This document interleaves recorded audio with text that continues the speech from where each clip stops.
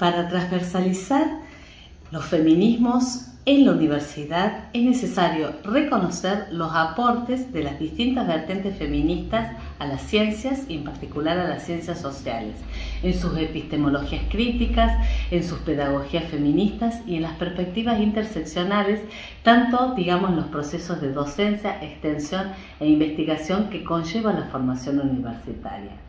Montes de Oca Onray nos aporta elementos para pensar las interseccionalidades donde se incluye tanto la definición de criterios como distribución del, presupuesto universitario, las normativas y legislaciones que se crean en la universidad, la respuesta que la misma da a las denuncias de acoso sexual, de violencia y discriminación sexistas, así también como a la definición, ¿no cierto?, de los horarios y el uso de los espacios físicos y el lenguaje no sexista. Otro aspecto fundamental tiene que ver con la participación, digamos, interseccional de eh, las eh, distintas posiciones sexogenéricas en todos los espacios de decisión, de gestión, eh, de gobierno y de participación en el ámbito universitario y de la facultad.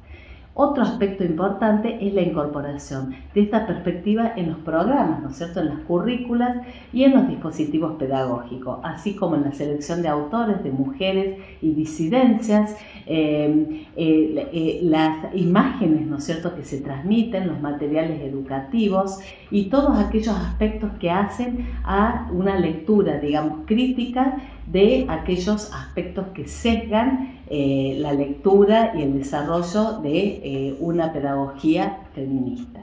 En este sentido, eh, podemos decir que pensar, ¿no es cierto?, en la transversalización de los feminismos en la universidad es revisar las propias prácticas y las prácticas de, que se llevan adelante en el espacio universitario que reproducen, ¿no es cierto?, un orden social cis este, heteropatriarcal, colonialista, eh, clasista, racista, que de alguna forma reproduce prácticas que son históricas, ¿no es cierto?, prácticas culturales que tenemos que poder ir revisando y que se suelen sostener y mantener, digamos, privilegios, tanto desde el saber y hacer de, de una ciencia legitimada y hegemónica. El desafío entonces hoy y la urgencia es poder construir, digamos, una universidad donde los feminismos la transversalicen.